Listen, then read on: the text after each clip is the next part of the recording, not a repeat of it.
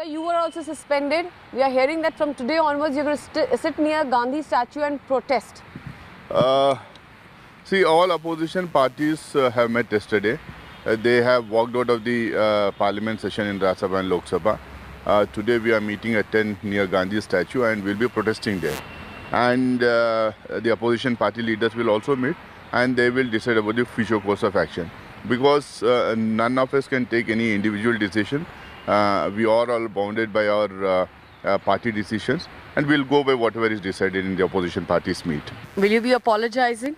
No question of apologizing, no question of uh, uh, uh, bowing to the dictates of this fascist government.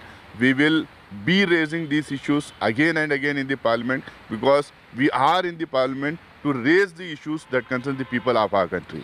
But uh, the way the chairperson said yesterday that uh, entire house was ransacked, people were mishandled, marshals were mishandled. What do you have to say about that? who who provoked the opposition MPs, who brought the who brought the uh, people, those who were not not marshals and from outside the Rajya Sabha.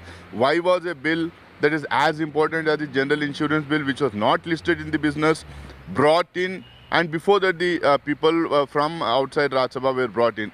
Was was that not a provocation part of the chairperson and the uh, government?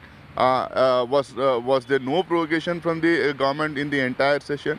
why were they not allowing us to discuss any issue under Rule 267, which is a much practiced, uh, uh, uh, which is much practiced in Lok Sabha and Rajya Sabha for the past 70, 75 years? So you're saying the blame lies on the opposition? 100% the blame lies on the opposition because uh, the blame lies on the uh, government because it is the duty of the government to run the house. It is the duty of the government to run the parliament.